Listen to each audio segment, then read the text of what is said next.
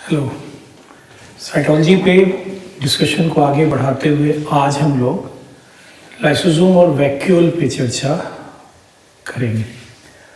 सबसे पहली बात कि ये लाइसोजोम्स हैं क्या? तो लाइसोजोम में ये मैंने कहीं भी शुरुआती दौर में ये बात नहीं लिखी है कि इसे सुसाइडल बैग कहते हैं। हम लोग स्ट्रेट वे स्टार्ट लेंगे कि ये होगा कहाँ पे? तो चूँकि हम यूकैरियोटिक सेल में देख रहे हैं तो बताने की आवश्यकता नहीं है कि ये यूकैरियोटिक सेल में पाया जाएगा, लेकिन एक प्राय बच्चों के दिमाग में कंफ्यूजन दिखाई पड़ता है कि लाइसोसोम क्या प्लांट सेल में है? Answer is in affirmative answer बहुत स्पष्ट तरीके से ये है कि हाँ प्लांट सेल में भी ये उपस्थित होंगे। तो ये तथ्य आप दिमाग से बिल्कुल निकाल दीजिए कि ये एनिमल सेल में ही पाए जाएँगे। They are very much found in plant cells हाँ प्रोकैरियोटिक सेल में निश्चित तौर पे ये आपको नहीं दिखने जा रहे प्रोकैरियोटिक सेल में लाइसोसोम जो होंगे वो नहीं दिखेंगे। हालाँकि आपको ये बात बताई गई थी कि जो पेरीप्लाज्म होगा, वहाँ पे देर आर सर्टेन प्रोटीन्स जो प्रोटीन फंक्शनली वैसे ही होते हैं जैसे लाइसोसोमल एंजाइम्स होते हैं। तो पहली बात लोकेशन को लेकर रही कि लाइसोसोम जो होंगे they would be found in eukaryotic cell prokaryotic cell में निश्चित तौर पे लाइसोसोम नहीं होने जा रहे हैं। हालाँकि पेरीप्लाज्मेटिक स्पेस में देर आर सर्टेन प्रोटीन्स जो कि लाइसोसोमल एंजाइम्स की तरह काम करते हैं। इसके बाद जो मुद्दा आप लेंगे वो होगा कि इसकी कैरेक्टरिस्टिक्स कौन सी होंगी? देखो लाइसोसोम कभी भी एक मेम्ब्रेन बाउंड साइटोप्लाज्मिक ऑर्गेनल होता है and it will be rich in it rather it, it is going to have acid hydrolysis a number of acid hydrolysis. और ये जो लाइसोसोम्स होंगे उनमें 50 नॉट मतलब 50 एसिड हाइड्रोलाइसिस की उपस्थिति वहाँ पे हो सकती है। और ये जो एसिड हाइड्रोलाइसिस होंगे they are capable of hydrolyzing almost any type of biomolecule present in the cell लगभग किसी भी तरह के बायोमोलिक्यूल को, जो कि सेल में उपस्थित हैं, उनके उनको हाइड्रोलाइज करने की क्षमता इन एसिड हाइड्रोलाइसिस में होने जा रही है। लेकिन एक बहुत इंपॉर्टेंट ऑब्जर्वेशन ये है कि भले ही लाइसोसोम के पास इस तरह के एसिड हाइड्रोलाइसिस का पूरा का पूरा एक कॉम्बिनेशन है लेकिन इसके बावजूद भी cell is very stable structure. अब प्रश्न ये खड़ा होता है कि अगर लाइसोसोम के पास इतने सारे एंजाइम्स हैं which can which are capable of hydrolysing practically every type of substance within the cell तो फिर सेल एक स्टेबल स्ट्रक्चर के रूप में कैसे वहाँ दिखाई पड़ेगा? तो इसका जवाब ये होगा कि latency of lysosomal enzymes is actually responsible for that जो लाइसोसोमल एंजाइम्स है उनकी लेटेंसी उसके लिए जिम्मेवार है। अब रही बात की लेटेंसी की खुद की वजह क्या है। तो लेटेंसी ऑफ़ एंजाइम्स की वजह यह है कि all of them are surrounded by किसके द्वारा? तो एक मेम्ब्रेन के द्वारा लाइसोसोमल मेम्ब्रेन जो होगा, वो इन तमाम एंजाइम्स को सराउंड किए हुए है and that's why this enzymes fail to act अब यहाँ पे एक मुद्दा और खड़ा होगा, और वो ये होने जा रहा है कि जो लाइसोसोमल मेम्ब्रेन होगा, आखिर उस लाइसोसोमल मेम्ब्रेन के ऊपर एंजाइम्स का असर क्यों नहीं पड़ता? तो उसमें आप लेकर देखिएगा कि वो जो लाइसोसोमल मेम्ब्रेन जो होगा it will be having two types of proteins IGPA and IGPB जो लाइसोसोमल मेम्ब्रेन होंगे they are going to have two types of protein IGPA and IGPA और ये जो आईजीपीए और आईजीपीबी होंगे उनके ऊपर लाइसोसोमल एंजाइम्स की कोई एक्टिविटी नहीं होने जा रही है। तो कैरेक्टरिस्टिक्स को अगर समअप करें तो कहेंगे कि ये मेम्ब्रेन बाउंड स्ट्रक्चर होगा जिसके अंदर एसिड हाइड्रोलिसिस मौजूद होंगे और एसिड हाइड्रोलिसिस जो होंगे उन, वो उनकी तादाद अराउंड 50 हो सकती है।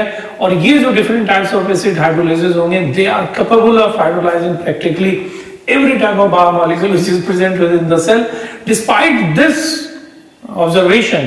इस ऑब्जर्वेशन के बावजूद भी इट्स ए फैक्ट कि cell is very stable structure प्रश्न ये खड़ा होता है कि अगर लाइसोसोम में इतने सारे एंजाइम्स हैं जो कि प्रैक्टिकली हर तरह के कंपाउंड को हाइड्रोलाइज करने की क्षमता रखते हैं तो सेल फिर इतना स्टेबल स्ट्रक्चर के रूप में कैसे रहता है? तो उसका जवाब ये दिया गया कि ये लाइसोसोमल एंजाइम्स लेटेंसी दिखाते हैं, ये सक्रियता नहीं दिखा पा रहे हैं। अब रहा प्रश्न की इनकी लेटेंसी या निष्क्रियता की वजह क्या है?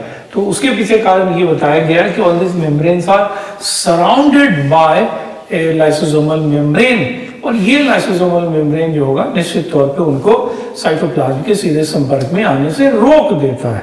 इसको अगर बच्चों को समझाने के लिए अगर कोई बात कही जाए तो ये कहा जा सकता है कि कहीं पे अगर किसी जू में जाइए और वहाँ पे बहुत सारे जहरीले सांप भी अगर रखे हुए हैं। तो इसके बावजूद भी लोग आराम से उन सांपों को देखते हैं और सब सुरक्षित वहाँ से निकल के बाहर आते हैं।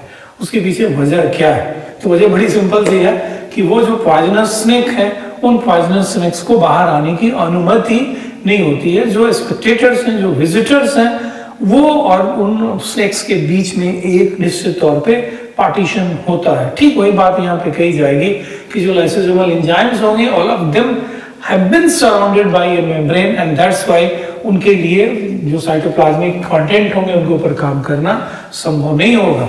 लेकिन मेम्ब्रेन पे उसका, उनका असर क्यों नहीं पड़ेगा?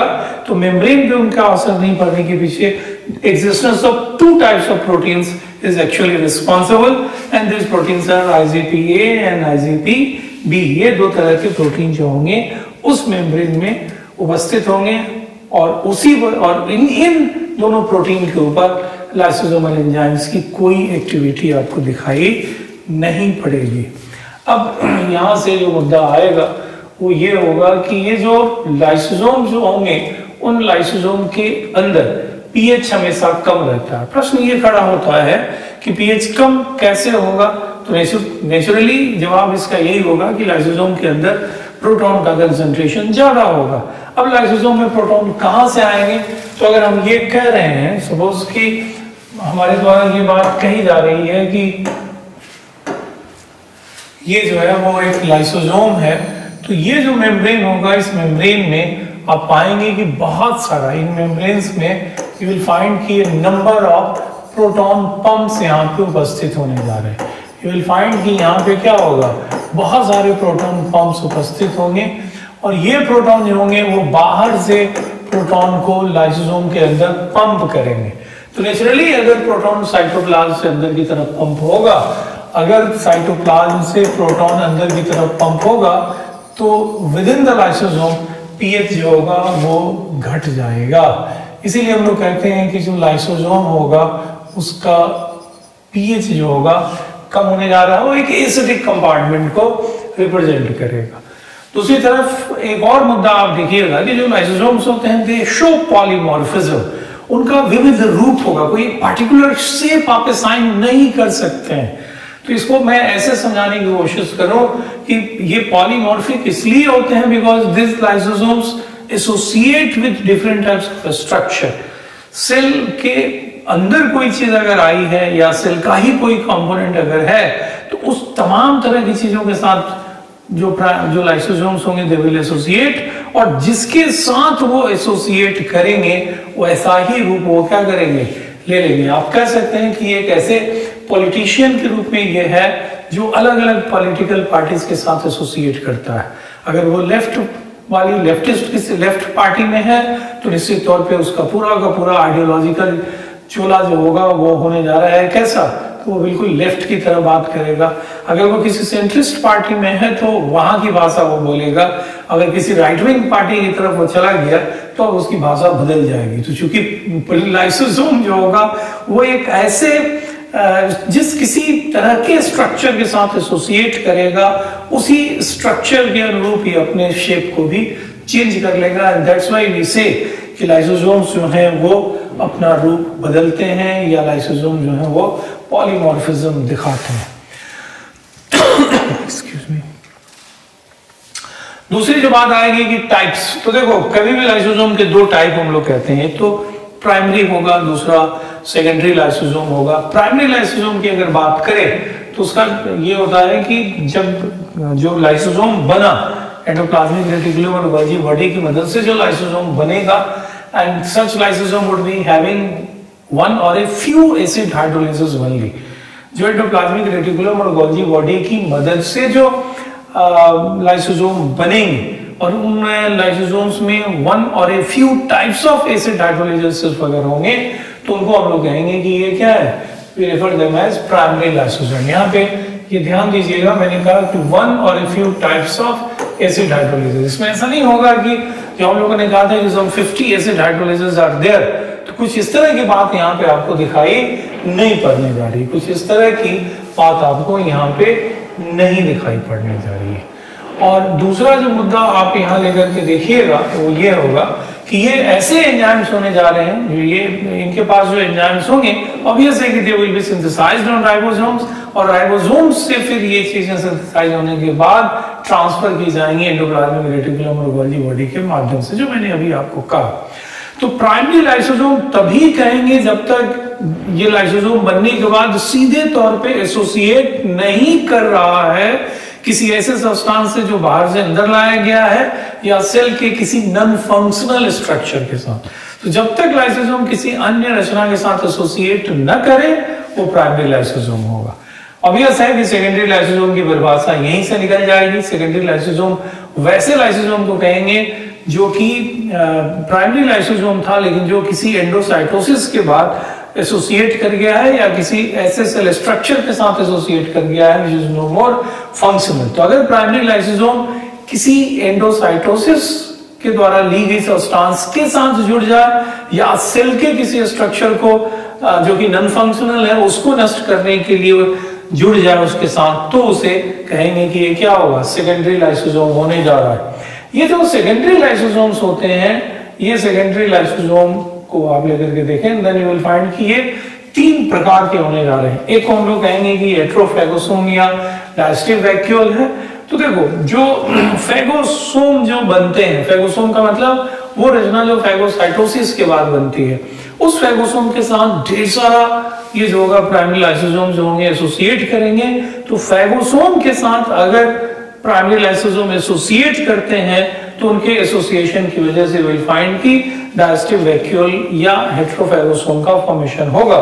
जो प्राइमरी लाइसोसोम के एंजाइम्स होंगे, निश्चित तौर पे जब वो फेगोसोम के साथ जुड़ेंगे तो अगर जितने तरह के भी प्राइमरी लाइसोसोम जुड़े सपोज़ 20 अगर प्राइमरी लाइसोसोम जुड़ रहे हैं और वहाँ पे अगर वो दो दो तरह के ही एसिड हाइड्रोलाइसिस अगर रख रहे हैं तो उस सेकेंडरी लाइसोसोम जिसको हम लोग हेट्रोफेगोसोम कहेंगे, उसमें एटलीस्ट 20 20 मल्टीप्लाइड बाई टू यानी 40 एसिड हाइड्रोलाइसिस वहाँ पे आपको दिखाई पड़ेंगे। जैसे मैं मैं यहाँ पे ये दिखाने की कोशिश कर रहा हूँ कि प्लाज्मा मेम्ब्रेन इज़ देयर और इन्वेजिनेशन रहा है यहाँ पे। ये इन्वेजिनेशन आपको दिख रहा है और ये जो इन्वेजिनेशन होगा, इस इन्वेजिनेशन के बाद, इस इन्वेजिनेशन के बाद ये रचना जो होगी that will be known as phagosome इस रचना को कहेंगे कि क्या है? फैगोसोम है।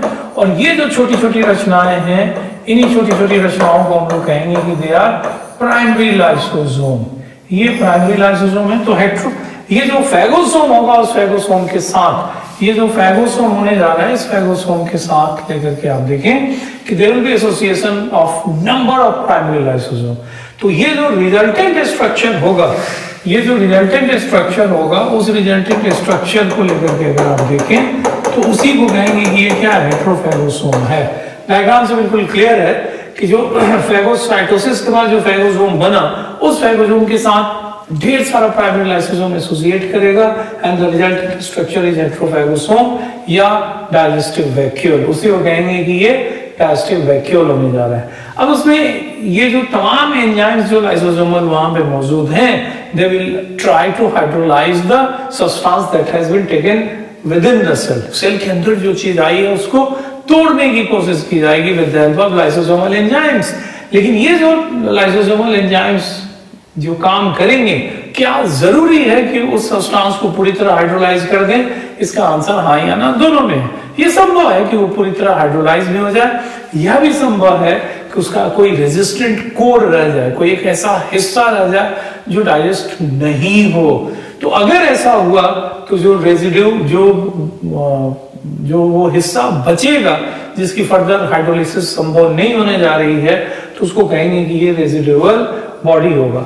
तो ये जो होगा, जिसे हेट्रोफेगोसोम आप कहने जा रहे हैं, वो हेट्रोफेगोसोम ये जो आपने कहा, और हेट्रोफेगोसोम के साथ ये जो रेजिडुअल बॉडी आप कह रहे हैं, ये दोनों जो होंगे, इन दोनों को हम लोग कहेंगे कि दे आर सेकेंडरी लाइसोसोम तो रेजिडुअल बॉडी के बारे में आप याद रखिएगा कि incomplete digestion of the substance that has been taken within during phagocytosis अब एक और बात रह गई एंड दैट इज़ साइटोलाइसोसोम और ऑटोफाजिक वैक्यूल साइटोलाइसोसोम और ऑटोफाजिक वैक्यूल देखो सेल में ऐसे बहुत सारे ऑर्गेनल हैं जो कुछ समय के बाद काम करना बंद कर देते हैं। तो वैसे ऑर्गेनल जो अब और काम करने की स्थिति में नहीं है उनको भी प्राइमरी लाइसोसोम की मदद से हाइड्रोलाइज किया जाएगा। इस बात को थोड़ा सा आगे हम लोग विस्तार देंगे। तो अगर कोई साइटोप्लाज्मिक ऑर्गेनल ऐसा है जो अब काम नहीं कर रहा है तो उन, उनका एसोसिएशन प्राइमरी लाइसोसोम से जो होगा तो इस एसोसिएशन की वजह से you will find formation of secondary lysosome that will be known as cytolysosome या ऑटोफाजिक वैक्यूल तो सेकेंडरी लाइसोसोम की ये तीनों टाइप होने जा रहे हैं। अब यहाँ से जो मुद्दा आएगा वो होने जा रहा है कि कौन से फ़ंक्शंस या रोल्स होने जा रहे हैं लाइसोसोम्स के। देखो लाइसोसोम का जो सबसे पहला फ़ंक्शन हम लोग देखेंगे, वो होगा इंट्रासेलुलर डायरेक्शन देखो, बहुत सारी चीज़ें सेल के अंदर प्रवेश करती हैं और उन तमाम चीज़ों को लाइसोसोमल एंजाइम्स क्या करेंगे? दे विल हाइड्रोलाइज दूसरी तरफ़ ऑटोफाजी जो अभी कुछ देर पहले मैं आपसे कह रहा था कि अगर आप कल्पना कीजिए कि किसी सेल के अंदर ये जो है वो एक माइटोकॉन्ड्रियन है और ये माइटोकॉन्ड्रियन अब फंक्शनल नहीं है. It is no more functional तो अगर ये फंक्शनल नहीं है तो पहला काम ये होगा कि it will be surrounded by इसको घेरा घेरा जाएगा किसके द्वारा? जैसे मैंने कहा कि ये एक नन फंक्शनल माइटोकॉन्ड्रियन हो गया. It is non functional mitochondrion और इसको सराउंड किया गया मेम्ब्रेन ऑफ़ इसको घेरा गया membrane of SER smooth endoplasmic reticulum के साथ इसको घेरा गया और अब इसका एसोसिएशन होगा, इसका एसोसिएशन इसके साथ एसोसिएट करेगा एसोसिएशन ऑफ़ ढेर सारे प्राइमरी लाइसोसोम इसके साथ एसोसिएट करेंगे। अब जो ये प्राइमरी लाइसोसोम एसोसिएट इसके साथ करने जा रहे हैं, जैसे ये सब प्राइमरी लाइसोसोम है जो इसके साथ एसोसिएट करने जा रहे हैं। अब इसके अंदर मैंने आपको कहा था कि ये लाइसोसोम उपस्थित होगा। लाइसोसोम नहीं mitochondria non functional is there और ये प्लाज्मा ब्रेन रहा। तो ये जो रिजल्टेंट स्ट्रक्चर फॉर्म करने जा रहा है ये जो रिजल्टेंट स्ट्रक्चर फॉर्म करने जा रहा है, इसी रिजल्टेंट स्ट्रक्चर को हम लोग कहेंगे कि ये रिजल्टेंट स्ट्रक्चर जो है, ये कहलाएगा कि ये साइटोलाइसोजोम है। और अब ये जो लाइसोजोमल एंजाइम्स होंगे, मैं दोबारा रिपीट करूँ। ये सेल का कोई हिस्सा है, उसके अंदर ये जो माइटोकॉन्ड्रियन था फंक्शनल नहीं है। तो first of all it will be surrounded by a membrane that has been derived from smooth endoplasmic reticulum और जैसे ही ये सराउंड किया जाएगा it will be associated a number of primary lysosomes बहुत सारे प्राइमरी लाइसोसोम्स इसके साथ एसोसिएट करेंगे। And the resultant structure is इसी रचना को हम लोग कहने जा रहे हैं कि ये क्या है? साइटोलाइसोसोम है। We refer this structure as cytolysosome इसी रचना को कहेंगे साइटोलाइसोसोम होगा। और जो एंजाइम्स होंगे this enzymes would act upon this non functional mitochondria और नेचुरली अगर ये uh, माइटोकॉन्ड्रिया जो जो माइटोकॉन्ड्रियन था अगर वो फंक्शनल नहीं है और लाइसोसोमल एंजाइम्स उसको हाइड्रोलाइज करके सिंपल जो मोनोमर्स उसमें अगर कन्वर्ट कर देते हैं तो निश्चित तौर पे ये एक एक ऐसी प्रक्रिया होगी जो कि रिनोवेशन और टर्नओवर ऑफ़ सेलुलर कंपोनेंट के रूप में देखी जाएगी। अगर कोई स्ट्रक्चर अनफंक्शनल हो गया है तो उसको बनाने में जितने भी तरह के बायोमोलिक्यूल लगे हुए हैं, अगर उनको सिंपल मोनोमोरिक मोनोमेरिक फॉर्म में अगर रिलीज़ कर दिया जाए तो फिर नेचुरली उस पार्टिकुलर सब्सटेंस का इस्तेमाल करके फिर कोई दूसरी नई रचना बनाई जा सकती है। इसी को हम लोग कहेंगे कि ये क्या है? नॉर्मल रिनोवेशन और टर्नओवर सेलुलर कंपोनेंट का। कहलाएगा ये। और ये बखूबी काम, ये काम बखूबी पूरा किया जाएगा लाइसोजोमल एंजाइम्स की मदद से। क्रिनोफाजी एक दूसरी प्रक्रिया होगी। देखो, कई सारी, कई सारे सब्सटेंसेस ऐसे बनते हैं जिनके, जिनका सिंथेसिस उस अमाउंट से ज़्यादा हो जाता है जितनी आवश्यकता है।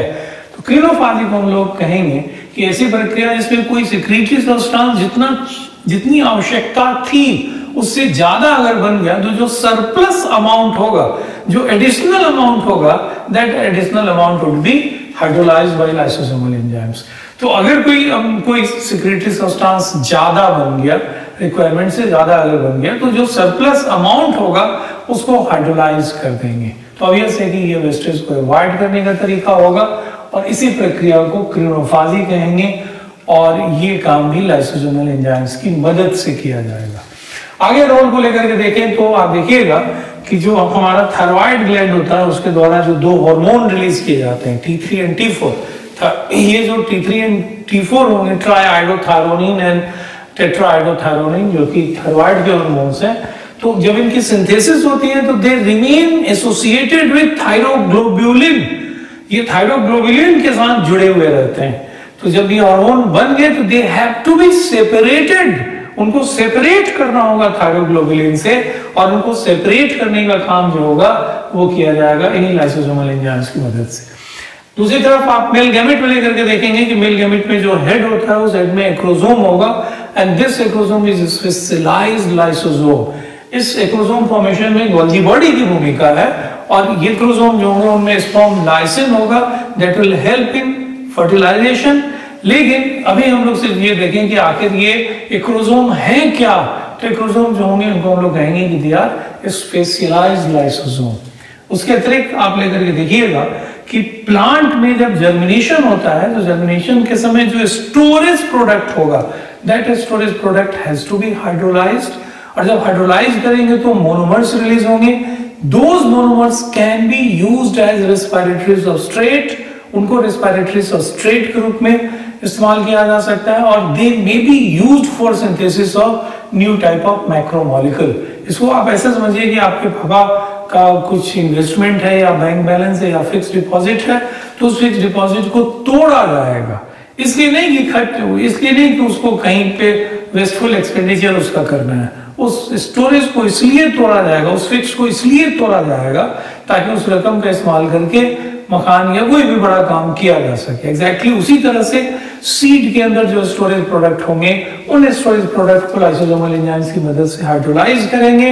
हाइड्रोलिसिस के बाद जो चीज़ रिलीज़ होगी, उसका इस्तेमाल as a source of energy करेंगे या फिर उन मोनोमर्स के इस्तेमाल के द्वारा कॉम्प्लेक्स ऑर्गेनिक कंपाउंड जो होगा, उसको नए तरह के कॉम्प्लेक्स ऑर्गेनिक कंपाउंड को सिंथेसाइज किया जाएगा। तो ये बात बिल्कुल दिमाग से निकाल दीजिए कि प्लांट माइटोकॉन्ड्रिया जो है प्लांट के अंदर लाइसोसोम नहीं होंगे। प्लांट सेल्स में भी ये लाइसोसोम्स आपको दिखाई पड़ेंगे।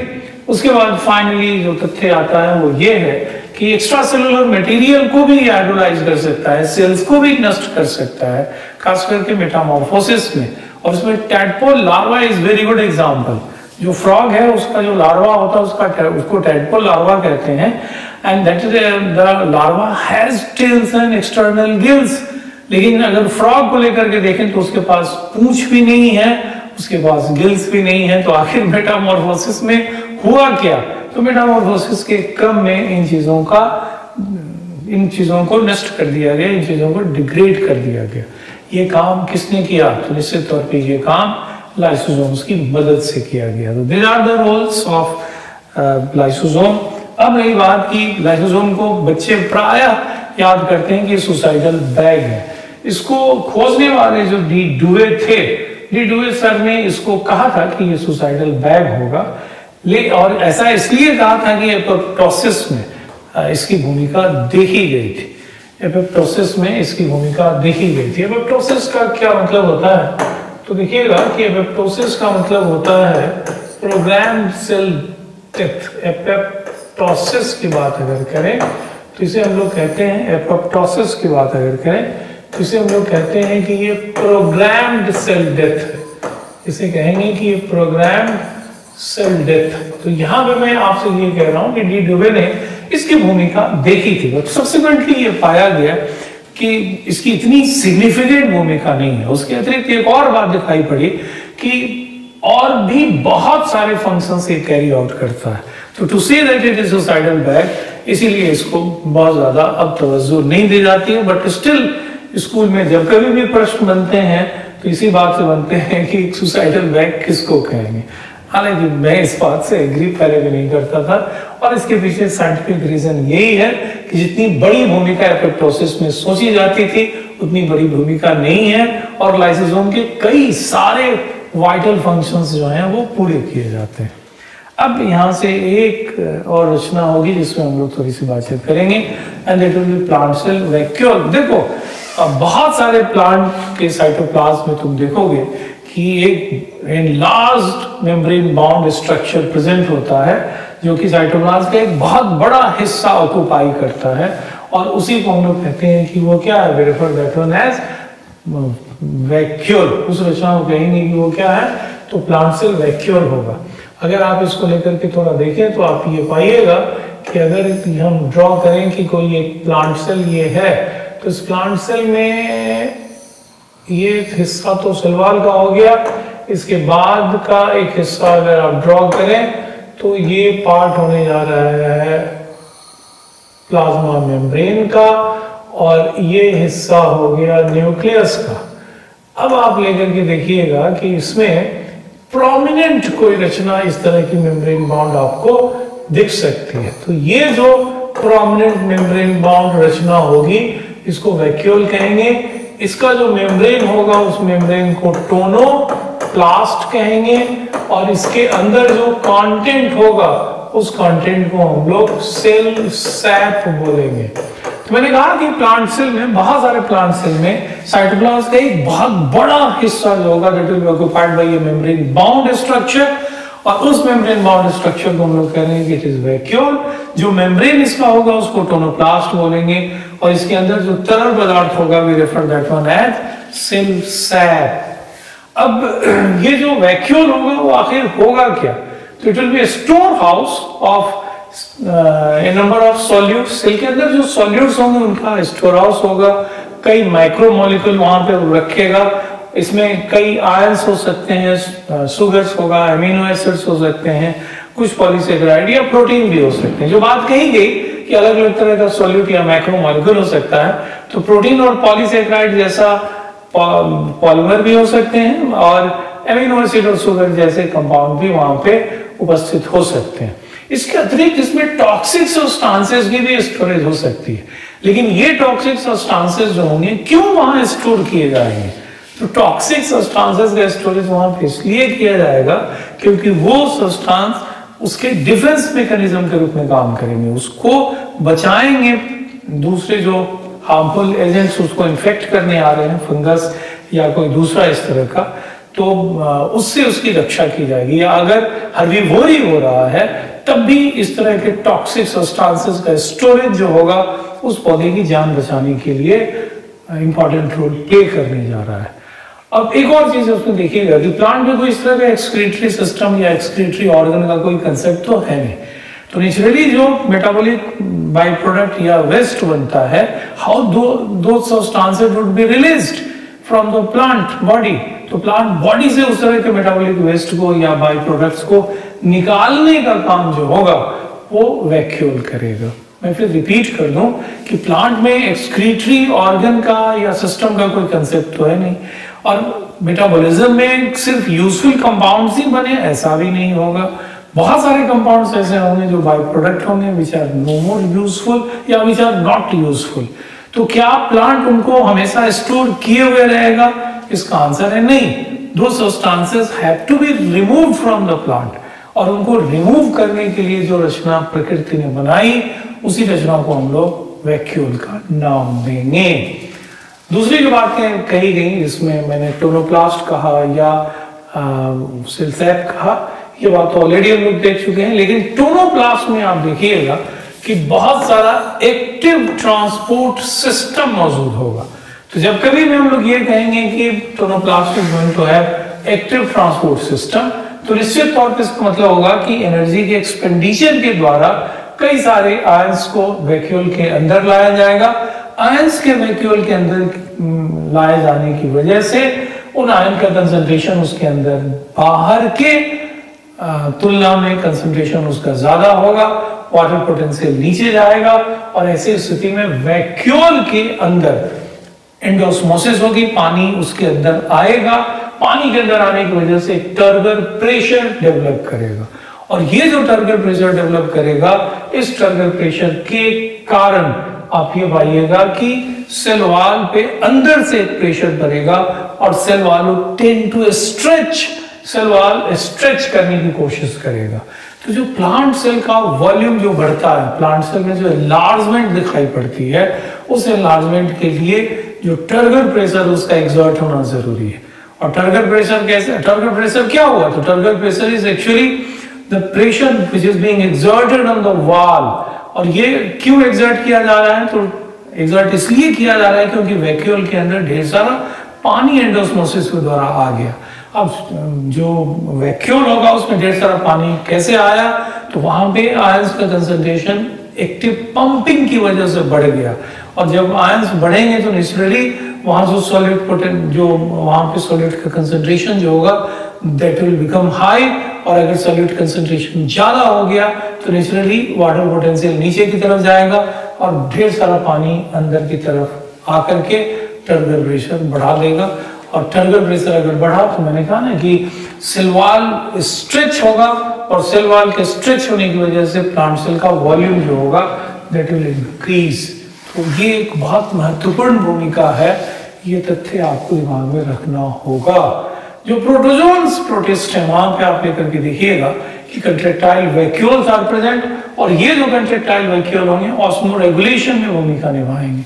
ऑस्मो रेगुलेशन का मतलब होगा कि सॉल्ट कंसेंट्रेशन एक सीमा से ज़्यादा नहीं, एक सीमा से कम नहीं। उसमें आप देखिएगा कि कंट्रेक्टाइल वैक्यूल की भूमिका होने जा रही है।